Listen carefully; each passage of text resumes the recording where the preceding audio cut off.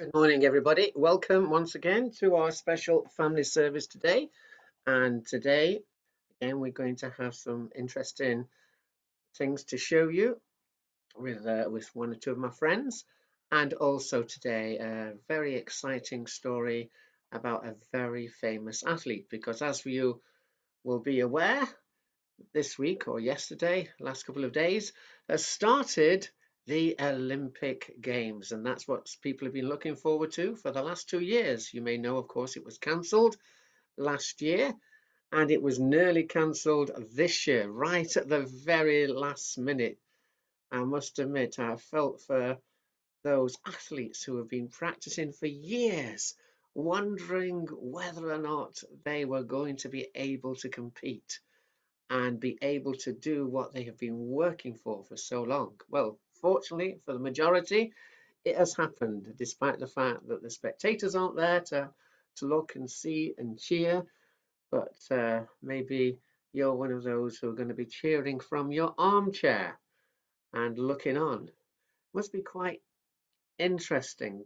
Can you imagine there you are in the Olympic sports and you're looking around for the crowd and there's no crowds. There's almost like, where are they? And yet there are millions of people watching you, tens of millions of people, even though you don't see them. And I was thinking that's how sometimes it can be. We are here on earth. We are to live a life for the Lord Jesus, a life for God, because God has us here for a special purpose. And it's almost though we don't recognize it. We are surrounded by innumerable company of angels. We don't see them. And God's angels there are cheering us on. They're cheering us on. We don't see them. There's an illustration of that in the Bible when we speak about Elisha the prophet. Elisha the prophet, uh, the king had sent some armies to attack him and capture him because um, he didn't like him, what he was doing. And Elisha's servant was there when the king sent the soldiers to arrest them, and he was very scared. And then Elisha prayed and says, Lord, open my servant's eyes. And then he saw there in the unseen realm, there were angels and chariots of fire and the splendor of God's power and might and majesty. And immediately all his fear was gone. And if we can only, and that's what we can pray just now as we begin today, or uh, to open our eyes and see that the Lord is with us, that there are more with us than he that is in this world. Yes, so we cannot see the invisible realm, not very, very often, but yet God wants us to be aware that he is with us. And as Mickey will tell us in a moment, he will never leave us. So there we go. So let's just pray and then we'll go into our meeting. Lord Jesus, thank you that you are with us. Thank you, Lord, that you'll never leave us. And though we do not see you with our physical eyes, yet we know by faith that you are truly with us, that your heavenly host, the armies of heaven, are with us, that you say you send your angels to watch over us. And so, Lord, we worship you today. We thank you for your presence. And we thank you, Lord, that, Lord, you're watching over us in all that we do. So we give you thanks and ask your blessing on today's meeting. We ask it in Jesus' name. Amen. Well, thanks again for joining us. And yes, of course, we always have, as we have here. Say hi, Mickey. Hello, everybody. Welcome. Yes, I was listening to Mike then, and this is so true. That's why I want you to know, just as we normally do. And can you just put your hand up a minute like this? Put your hand up, please. Is that okay? And this is the promise from the Lord Jesus. Remember the promise that Jesus says, I will never leave you. Yeah. Okay. Have you got anybody to, to be with us, Mickey, to have a look? Oh, yes. I've got my friend Chester. He wanted to come along. Chester. I don't know if we've seen Chester for a while. No, no, he's here. He's here. Yeah. I'll go and get him. Okay, then you go and get Chester. Where's Chester? And while we're getting Chester, oh, I think he's coming. While we're getting Chester, let's have, because thinking a bit about the Olympics today, because we're going to hear an amazing story of a man called Eric Liddell. And you know, this Olympics, I was listening, there are at least two Christian athletes who are running in the Olympic Games. If I get chance, I might just show you at the end, if I get chance, though, who those uh, Olympic athletes are, and uh, we can want to cheer for them as they're running. And as they said, running the race best we can, but also the first one in our lives is the Lord Jesus, and we're running to please Him. And that's the story of the famous athlete that we're looking today who ran in the 1924 Olympics. Okay, so just before Chester comes along, let's do our song. And uh, was having a little technical trouble just before we came on air, but hopefully it's solved. But I have to do it like this. As we see I'm just getting my songs up and uh, I had to Oh, that's the wrong that's the wrong screen, see. So where have they gone? The songs. Ah, here we are. And uh, this is, you may not know this one, but it's a great one I was thinking of when we're thinking of the Olympics. I'm running a race and I know we all like running. If we're getting a bit older, it's not quite as easy to run sometimes the only running we're doing is if we're running for a bus or something like that. But uh, if you're younger, it's great to be able to have the freedom to run. And if you're in school, to run in the different races. And uh, maybe some of you are going to be famous athletes. Um, but this is the song, and it goes, it goes, I'm going to Run, run, run to meet my Jesus. I'm going to run, run, run to meet my Jesus. I'm going to run, run, run to meet my Jesus. When he comes, hallelujah, when he comes. And then we sing, every eye shall then behold him. Every eye shall then behold him. Every eye shall then behold him when he comes. Hallelujah, when he comes. The chorus again.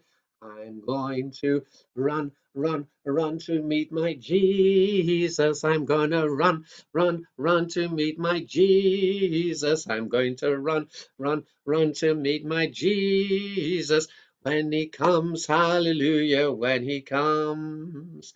And then, and this is why we, many of us don't like it, the fact when people are bowing the knee, because the Bible tells us to bow our knee before the Lord Jesus and Him alone. So it goes, every knee shall bow before Him, every knee shall bow before Him, every knee shall bow before Him when He comes. Hallelujah, when He comes. The chorus. I'm going to run, run, run to meet my Jesus. I'm going to run, run, run to meet my Jesus. I'm going to run, run, run to meet my Jesus. When he comes, hallelujah, when he comes. And when he comes, the Bible talks about us being caught up, rising the air. And so we sing, I'm going to Rise, rise, rise to meet my Jesus. I'm going to rise, rise, rise to meet my Jesus. I'm going to rise, rise, rise to meet my Jesus. When he comes, hallelujah, when he comes. And the first time, I'm going to run, run, run to meet my Jesus. I'm gonna run, run, run to meet my Jesus. I'm going to run, run, run to meet my Jesus when he comes. Hallelujah, when he comes. It's a different one that and the Bible tells us that Jesus is coming and he's coming soon and he's shown us lots of different things how we can expect Jesus to come at any time. And so the Bible tells us to be ready because we're not too sure just when exactly he can come. But he says, when you see the different things that are happening in our world as we see them today, he says, No, I am very close to coming. And when he comes, oh, how wonderful it's going to be. It's so incredibly exciting. And I'm looking forward to that day. Okay, so here he is, my friend Chester. Come on, Chester. And now Chester, he actually doesn't like saying very much because he likes to keep things hidden inside him. Here's Chester. Say hello, Chester. Hello, Yes. I know he's a bit of a grump because, as I said, he doesn't really like opening his mouth because Chester holds something very, very precious inside. Would you like to see? Yes? Chester, will you open your mouth? What? No, no one's going to steal. and he can't do that, Chester, because they'd have to put their hand through the screen. And as yet, they can't do that. No, no, that's all right. And there are people there, though you can't see them. Yes, I think there's one or two folks there. Yes, yes, Mrs. You know, there. Can you see? What? Yes, you just see a wee light. Yes, I know that's a light, but there are what there are people behind that that that, that light. Well, maybe maybe there's at least one. Hopefully. okay. All right then, Chester. So I want you to open your mouth and let's have a look because Chester carries something very precious. Go on then, Chester. Open your mouth and go on.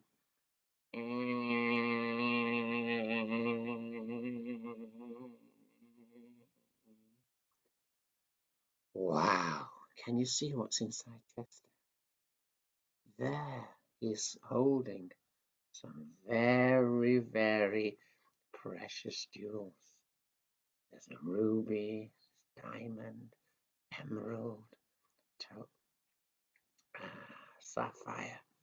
Beautiful, beautiful jewels. Chester, why do you have these? Ah, well, the Bible says, well, Chester says he's hiding these jewels. Can I take one out? Okay, let me just take one out. I'll take out this one. Uh -huh. This is ruby. Let's just take up the, oh, and it's all right, Chester. When I take one out, just like pulling a teeth. Have you have your teeth pulled out? Wait, let's, come on, there we go. See this beautiful ruby. Yeah. Tell me, Chester, why do you have this ruby? Uh-huh, okay. Well, you see, this particular stone reminds us of, because what's the color? The color is red. And it reminds us of the most precious, precious thing, really, when we say about the most precious substance because uh, in, in the universe. And what's that? That we call it the precious blood of the Lord Jesus. And this ruby reminds us that the Lord Jesus on the cross poured out his precious blood so we can be forgiven for all the things we have done wrong. That's why Chester has it. Okay, well, we'll not do that just now, Chester, because, yeah, what we'll do each week for the next couple of weeks or so, I'm going to show you one of these different stones and just explain just a little bit like the ruby shows us, of course, as we told you about the precious blood. But with these stones, I just say they're hidden. They're precious jewels. And what the Bible teaches is this, is that God is making you and I like his precious jewels.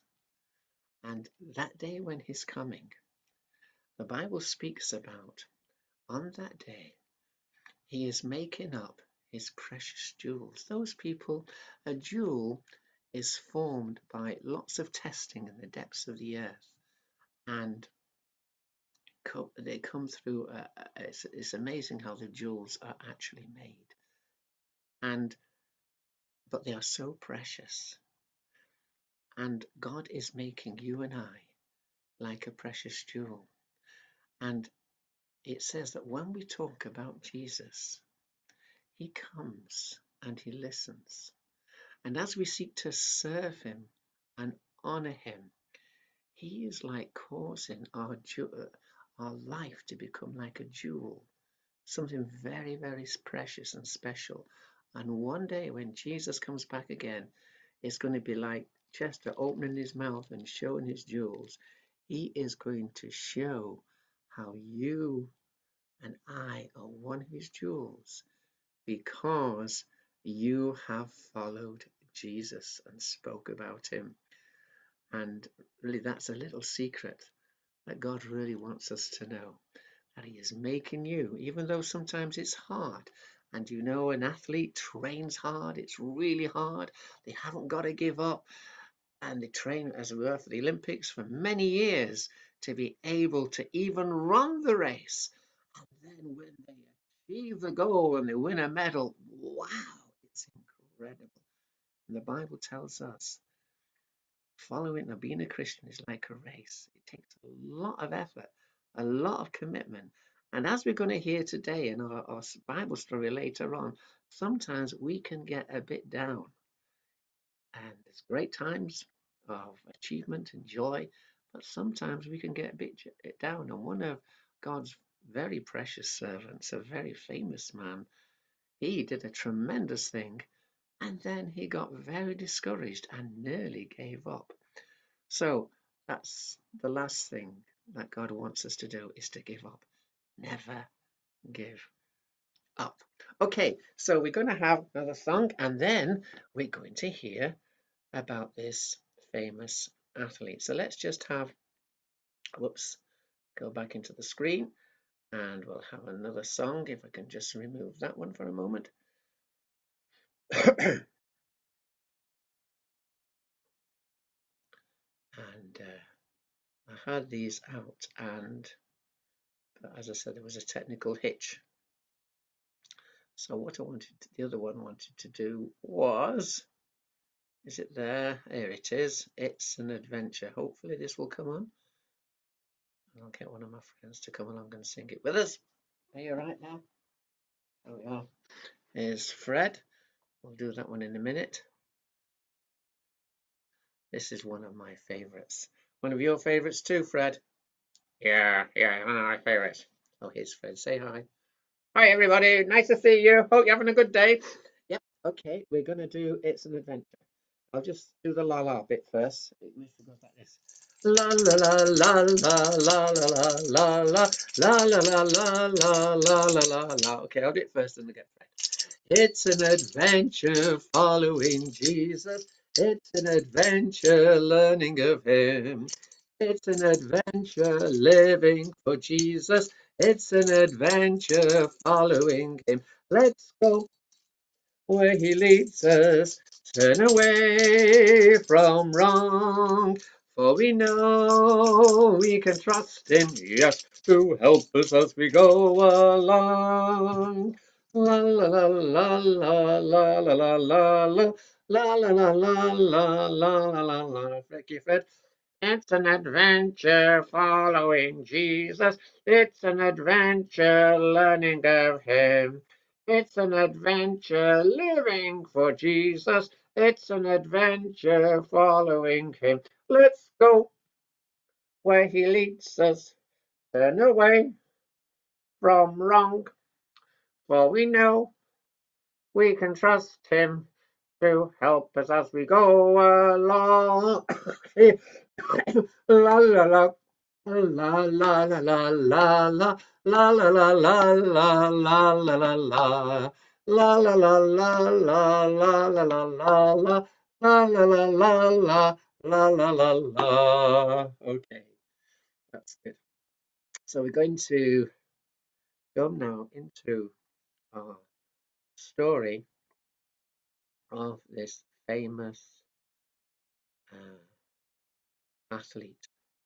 And I'll get him here on the screen.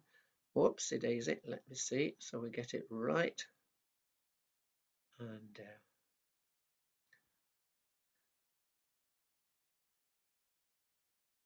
there we go. Now, one day, in fact, it was just under 100 years ago, 1923. Today is 2000 And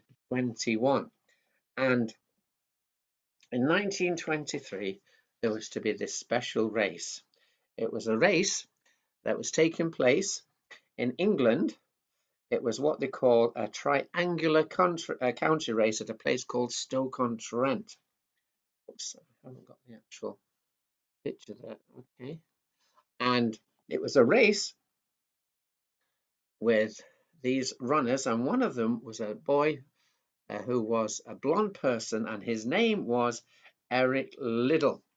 And for about two years, he'd been running races and he had been quite fast. But on this particular race, as the race began and the runners began to race, Eric was knocked over. He was knocked over in the race. And it was like he was out of the race right at the very beginning. But the thing was, he got himself up. And though people were running far ahead of him, he began to run and everybody in the stand was amazed because he began to catch up. There was the one who was at the back, and then he passed them, and he passed another, passed another, and as he was getting near the line, suddenly with a with a, a boost of strength and energy, he he won. He won. And all the crowd erupted. They thought, that's incredible. That's who is this person? And as I said, they began to say, who is this man? And he was called, of course, Eric Liddell. Well, as a result of that race and different others, he was chosen to go into the Olympics the following year in 1924. And so Eric, he was very good at the 400 meters and also at the 100 meters. And as he was chosen, he began to uh, practice running, of course, a lot, as we said, there's a lot of discipline when you're practicing races. And he did his best to be the best he could be. Well, people thought at least he could win one gold medal in the 100 meters because that's what he was good at. Well, then one day, as he was finished practicing sprints, a friend waved a piece of paper at him like this. And he said, Look, Eric, the timetable is out for the Olympic Games. Have you seen it? No. Eric glanced at his friend's face and he picked up the schedule.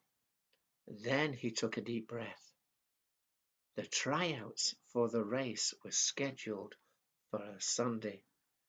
And he said, I won't run. Not on a Sunday. You see, Eric for him, Sunday was a day for worship. He had made a promise to God he would put, well, he put God first in all of his life. But on a Sunday, he would seek to serve him, go to worship, go to praise, uh, to go to church.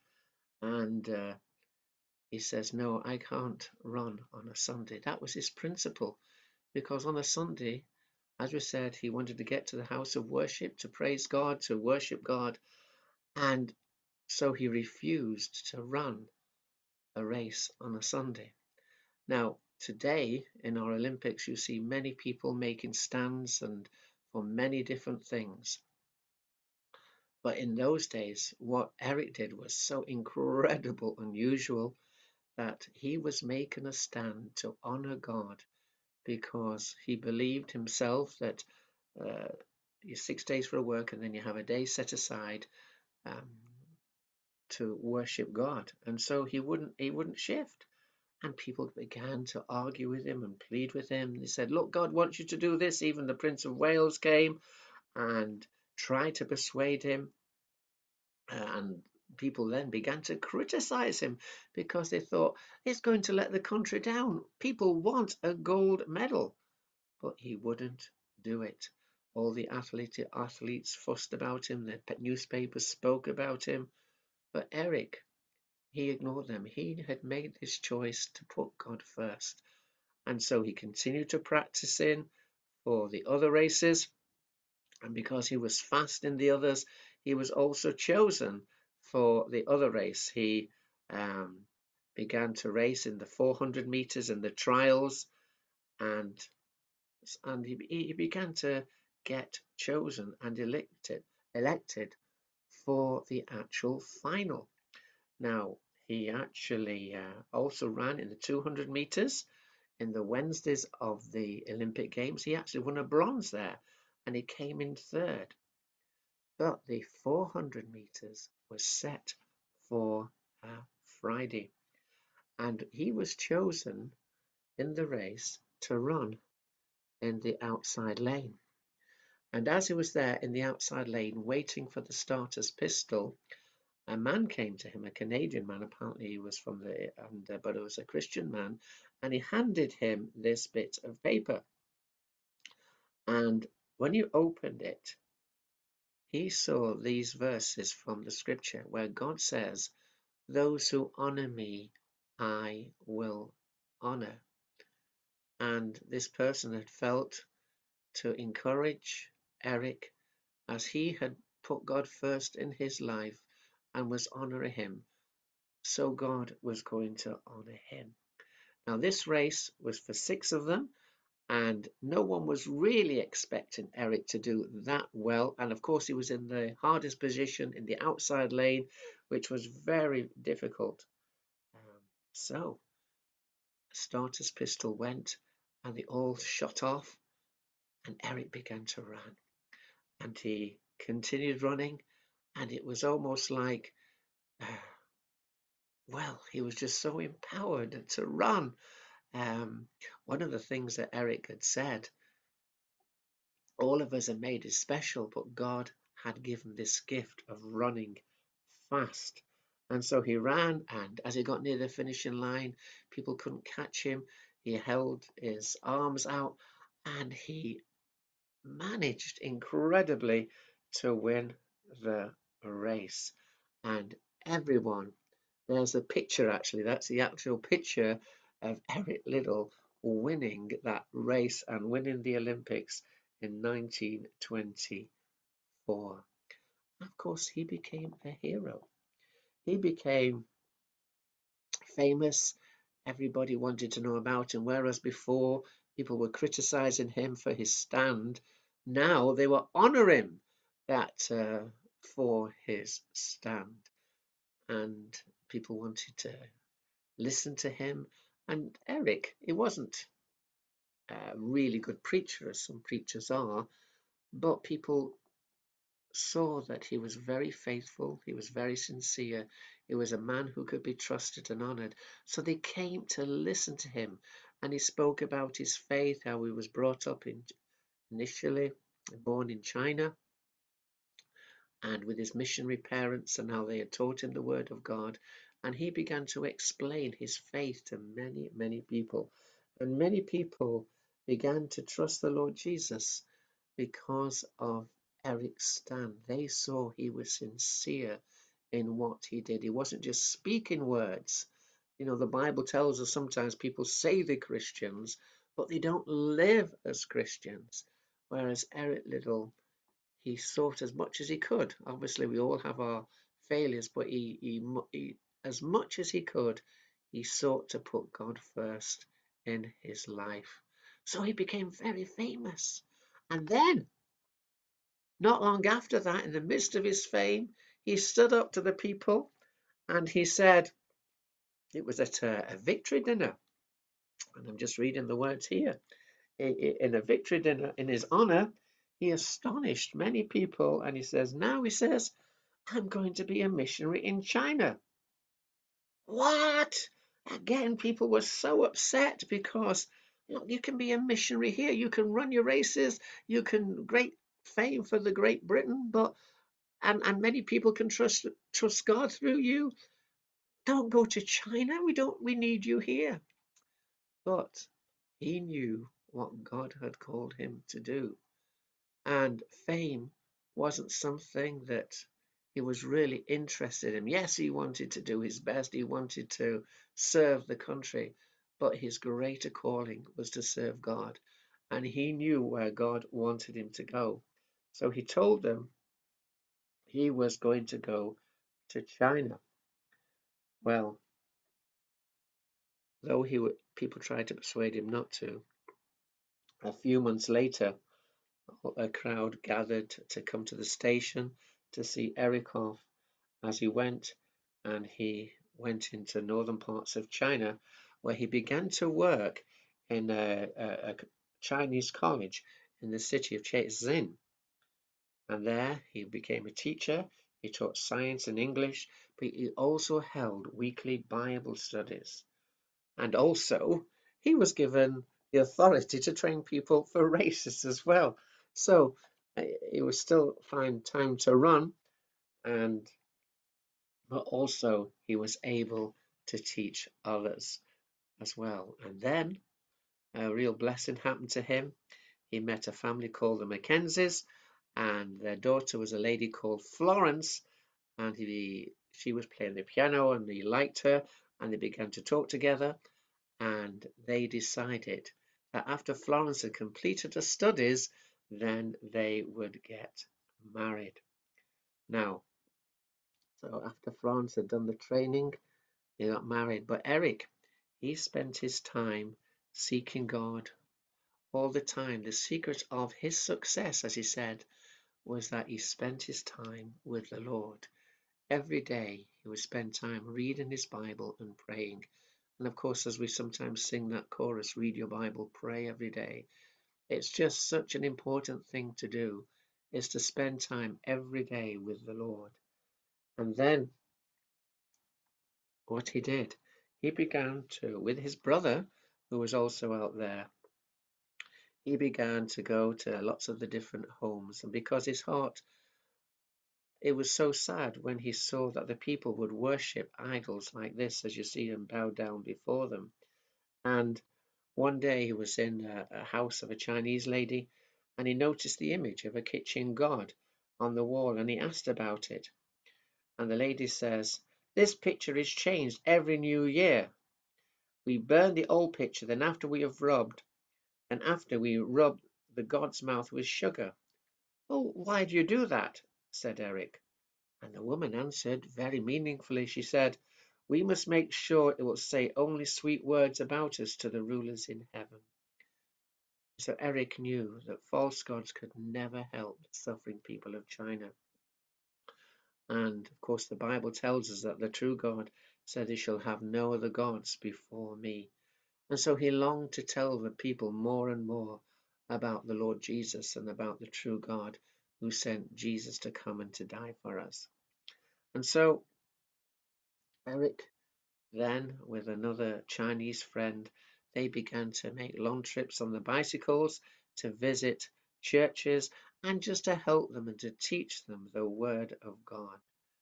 In those days, though, there was also a war going on in China, and sometimes you go to a village that had just been burned by soldiers, many people are being killed. But in that situation, Eric would go and he would just bring the comfort of God's word into the villages where there was much suffering and much pain. And then, not long afterwards, there was uh, an invasion.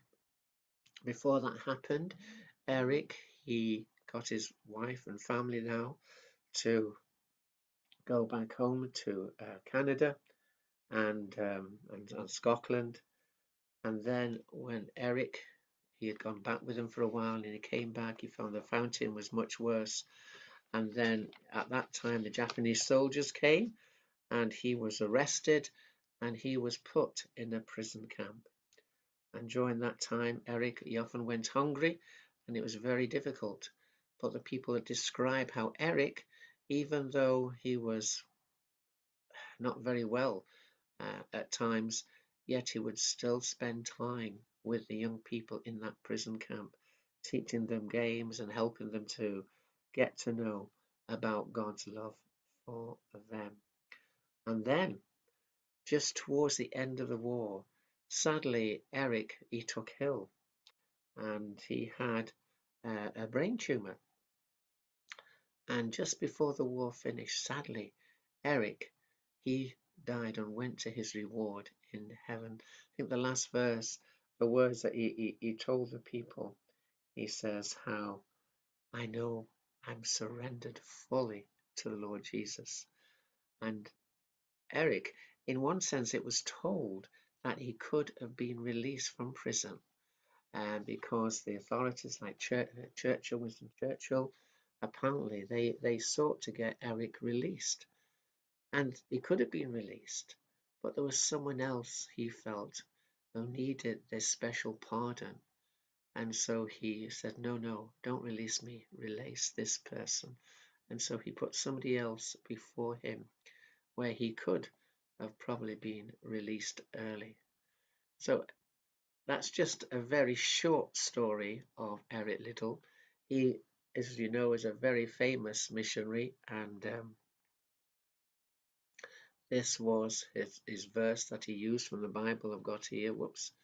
And this was what he, uh, a verse from the book of Philippians, where he said, uh, No, dear brothers and sisters, I'm not cheated, but I focus on this one thing forgetting the past and looking forward or reaching forward to what lies ahead. He says, I press on to reach the end of the race and reach the heavenly prize for which God, through Christ Jesus, is calling us. And he knew the Christian life is like a race. And so he sought to uh, put God first in everything he did and, and follow the instructions that God has given to us in His Word to love other people, to think more highly of them than we do of ourselves, and to seek to be able to serve. And mm-hmm. that's what he did. He did a tremendous thing. We all know him for the amazing race that he did in the Olympics in 1924. But we can also remember him for his faithfulness to God and how we loved God and served him with all of our heart. And that's the main thing because as we said, there was all those spectators in heaven almost from the stand waving him on. And I believe he won the race, the heavenly race, where he triumphed for the Lord. And he, as we showed with our with our uh, little illustration with Chester this morning, he was able to become one of God's precious jewels, just like God wants you to be as well. Oh, that special jewel that you are to be. Okay, let's just have one more song and then we're going to have a look at our special Bible story today. So let's just find our song. My mouse isn't working very well as well again. Today. Ah, here it is. Okay, and uh,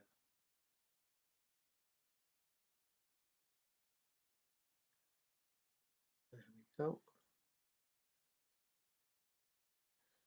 Okay, now here's the, you saw this before.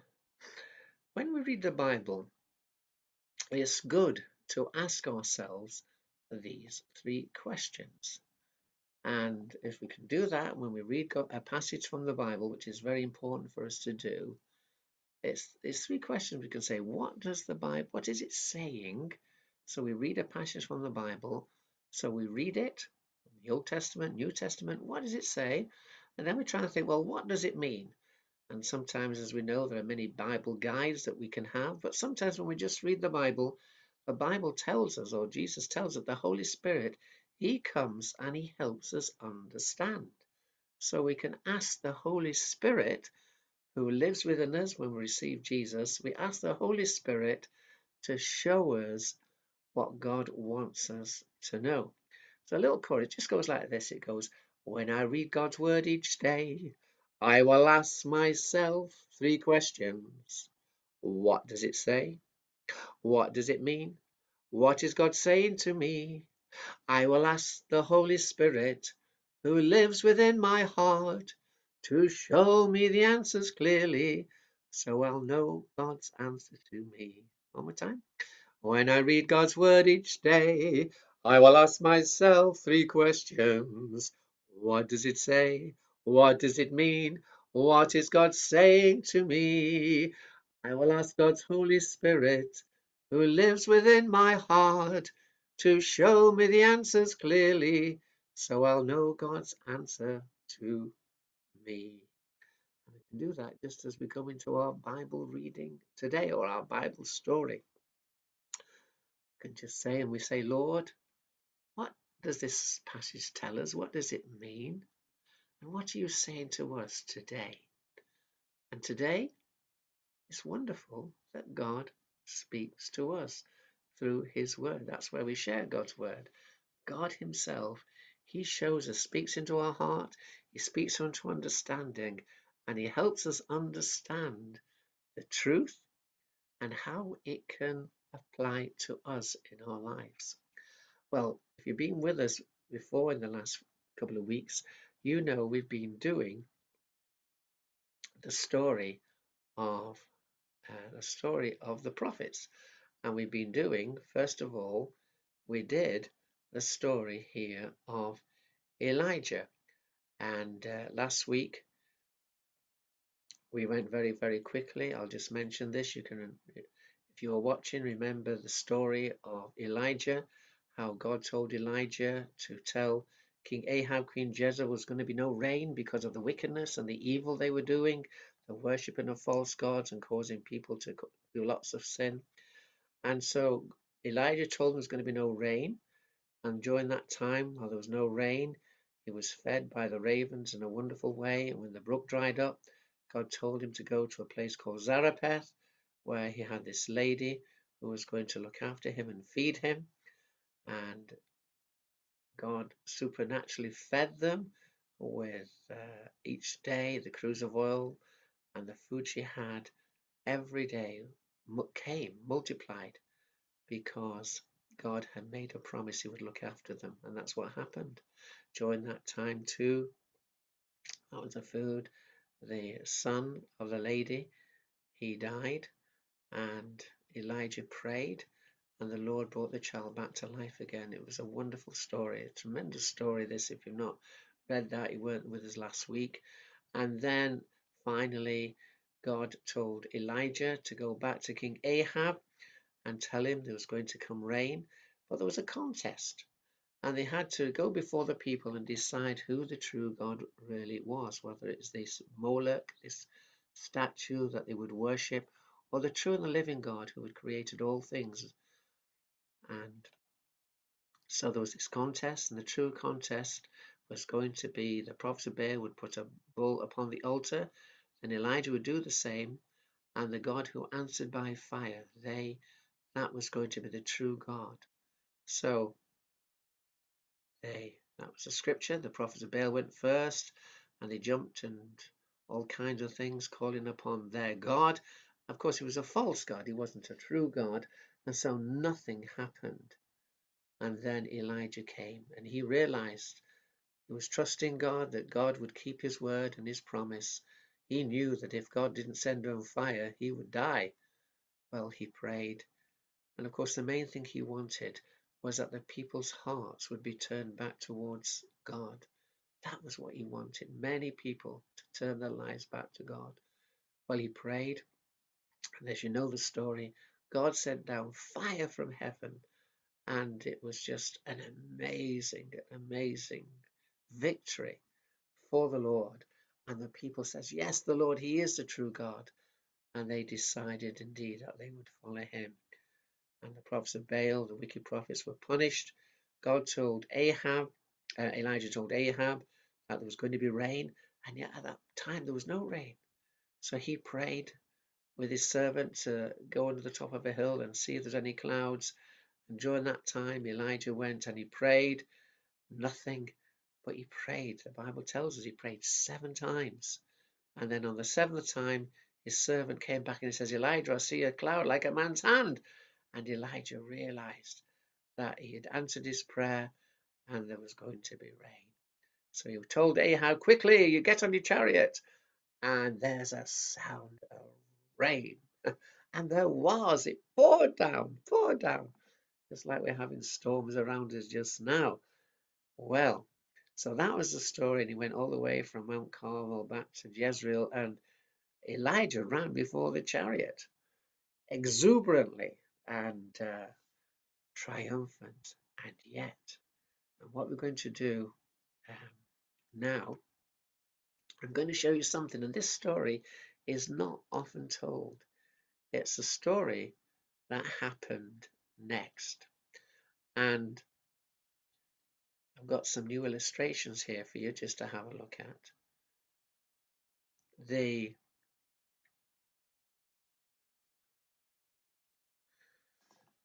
when now this is the illustrations now when it, King Ahab got back to Jezreel there was his wife asking and finding out what had been going on and she was furious absolutely she was absolutely furious at what she heard and especially how Elijah had slain all the prophets with the sword so Jezebel, instead of being, oh, this is terrible, we need to uh, repent and, and, and, and cry out to God for mercy, which is really what she should have done.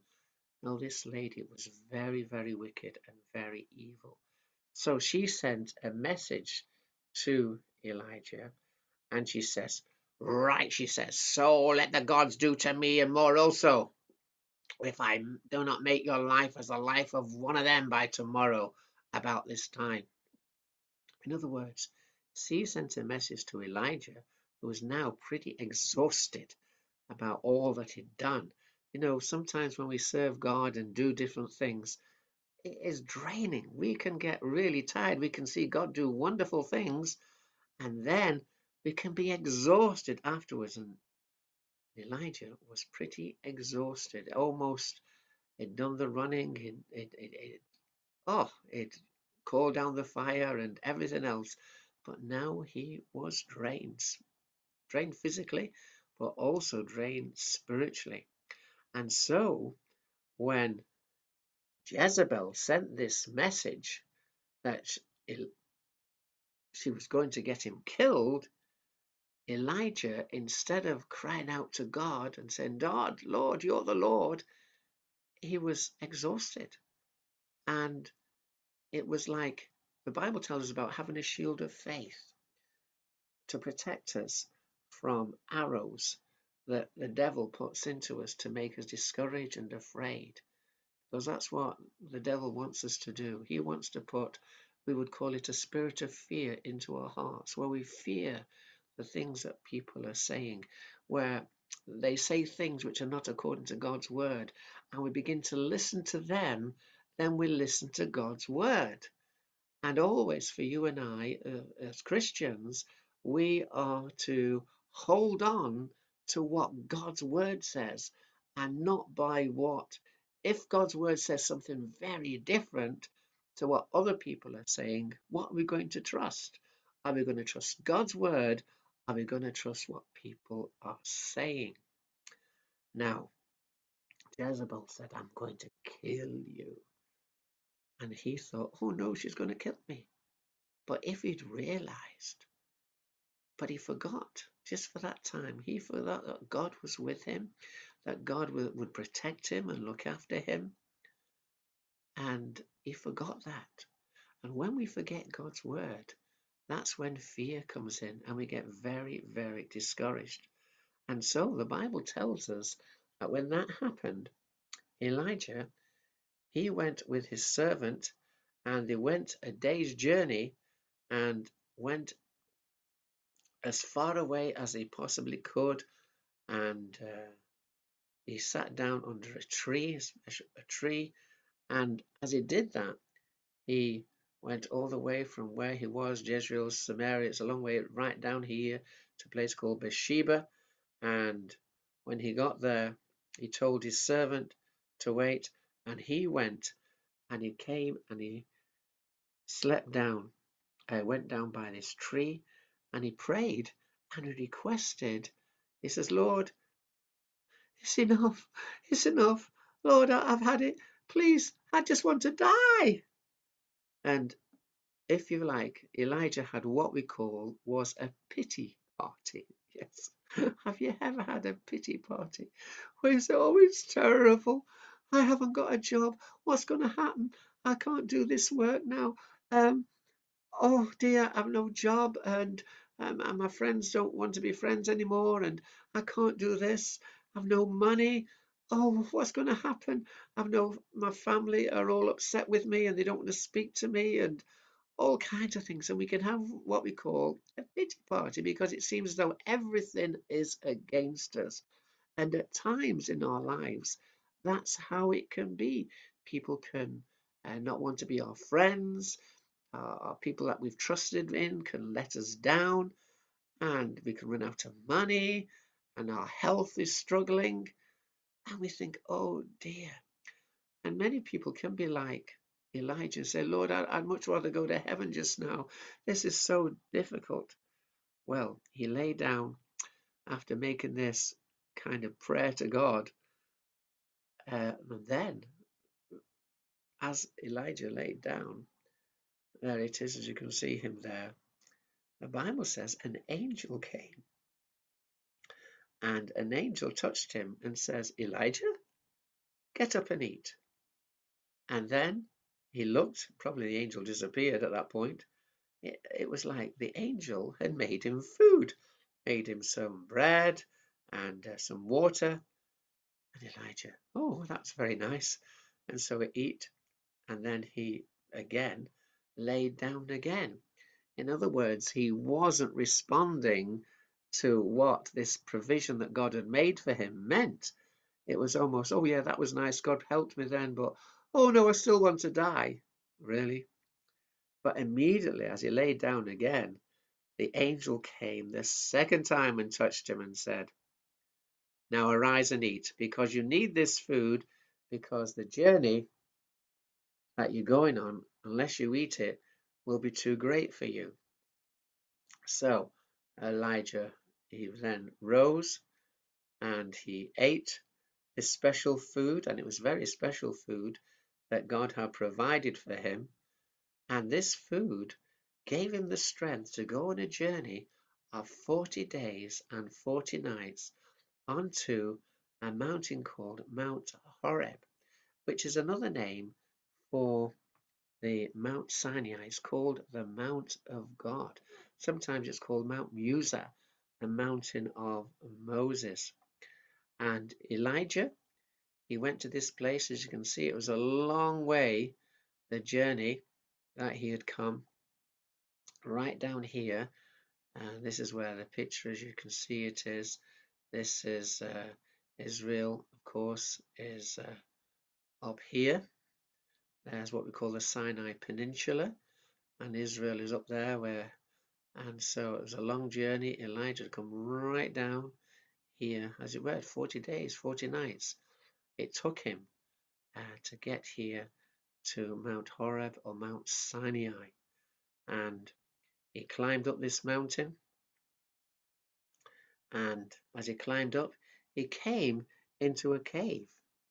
And he began to live in this cave. And as he was there, God's word came to him and the Lord says to him, What are you doing here, Elijah? And Elijah says, Lord, I have been I've been serving you. I've been very earnest and passionate in serving you because the children of Israel have turned away from you. They pulled down your altars, they have slain your prophets, and Lord, it's like I'm the only one left, and they're going to try and kill me as well. And then the Lord said to him, Elijah, go to the entrance of the cave and stand upon the mount and the mountain. And then the Lord passed by, and there was a great wind which uh, tore the mountains, and the rocks began to fall before him. But then, even though God was showing these signs, the presence of God was not in these things. God was showing him these signs and there was a tremendous wind. And then after the wind, there was an earthquake. But there are all these signs, but the presence of the Lord wasn't in these signs. And then, after the wind and the earthquake and the rocks were falling, there and the fire, all of these were demonstrations of God's power and God shows his mighty power. He controls the storms and the weather and the winds and everything. He's in control. And when we cry out to him, he can alter things as we turn to him. Yes, we're to look after our physical recreation, which is a lot of people are saying this is very important as we as they, they use the term climate change.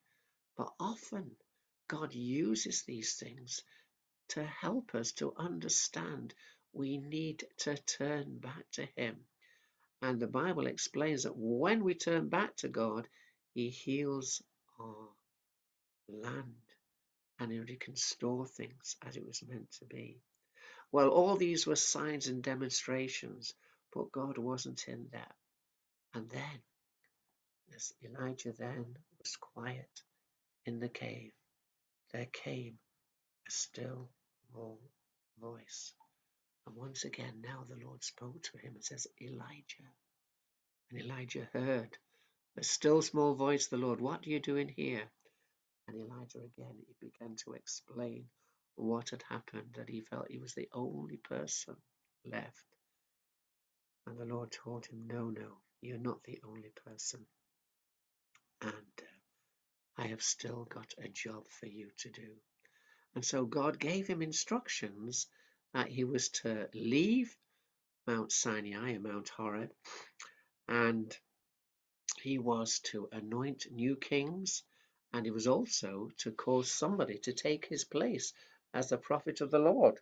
So, in one sense, Elijah was getting his wish to go home to be with the Lord because God was going to replace him.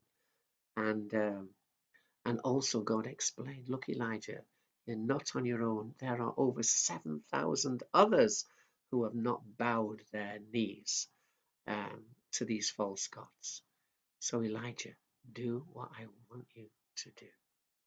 So, Elijah did that, and the Bible tells us he left the mountain, the Mount Horeb, and he went down to choose and call Elijah. Now, what I was just showing you pictures of here. This is the pictures of Mount Horeb and the mountain where Elijah was.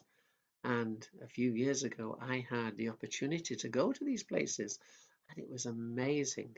And I was with a friend and we camped on top of Mount Sinai just below the bottom. And I remember coming out of my tent and looking in the skies which was just like that that picture there.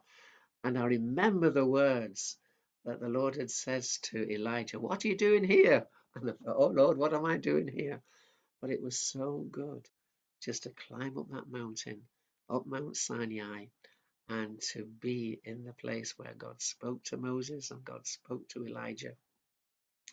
That very, very special place. And uh, sometimes it's just so good as we can consider, as we see there, the heavens and all the things that God has made, and how God, for each of us, has got a special job for all of us, as is a special job for you. So Elijah now was to go and do what God had said. And to go, just very quickly do this, he went down and uh, back into the territory which was ruled by Jezebel. And he called this man, here he is, called Elisha. And he came and he put it what we call his mantle, which is like his coat, which is a sign of his authority. He put his mantle on Elijah and said, Elijah, you know, to follow me. And off he went. And so Elijah, he said, first of all, let me go and, and, and tell my family, and then I will come and follow you. And Elijah says, okay. And so what um, Elisha did, he went and told his family, he killed and uh, killed the oxen. And in other words, he, he showed that he was going to leave the life he was now living and he was going to do what Elijah said. And then he turned and he began to follow Elisha. And next week, when we come to our story, we will uh, find out a little bit more how Elijah was taken into heaven in a dramatic way and how that anointing that was on Elijah came upon Elisha. In fact, with the Bible calls it a double portion because that's what Elijah recognized in need. He knew that to do what Elijah did, he then he would need so much more of the strength that Elijah had. And actually, God gave it to him. But we'll find out more about that next week. But the important thing is, remember, you are a special jewel who God has chosen to follow him. We can be many different types of jewels, but we're all incredibly precious to God. And I believe this that if you were the only person living on this earth, the Lord Jesus would have come and would have died for you because you are precious to Him. And that's the important thing that we're willing to come as Jesus calls us to do what Jesus did. And maybe if you've been a bit discouraged, sometimes it is tough being a Christian. But as we're thinking about an athlete and we thought about Eric Liddell, not giving up, not going to give up. No, I'm going to follow Jesus in his strength and ask him to help us. So the question is, as we finish today, is are you following Jesus? First of all, are you a true Christian? Have you asked Jesus into your life? And are you willing to follow him? But then maybe you got a bit discouraged. Maybe you're thinking it's so difficult, it's so tough. The Lord wants to come to you and says, Come on, get yourself up. Don't give up. Come on, follow me. Get back into the Bible. Get back reading the word. Get back praising me. Get back going to your church. Don't give up. Never, never give up because the Lord is with you and he will help you. So let's pray. And as we pray today, as we normally do at the end of our, our service, if you're not a Christian and you'd like to accept Jesus into your life, why don't just say this prayer with me? And simply pray and say, Lord Jesus, I ask you today to forgive me for all I've done wrong, to come and live in my heart. Lord Jesus, give me the strength and the power of your Holy Spirit so I can follow you. And if you've been a bit discouraged, just ask the Lord today and say, Lord, I know I've been not following you as I should. I have been a bit upset. It's been difficult. It's been tough. But mm. today, Lord Jesus, I ask you to help me to follow you and serve you. Thank you, Lord Jesus. Thank you for loving me. Thank you, you're holding me by my hand and you're not going to let me go. Thank you. Amen. Amen. Okay, well, thanks for looking in and the Lord bless you. Have a good week and God willing, see you next week. Bye.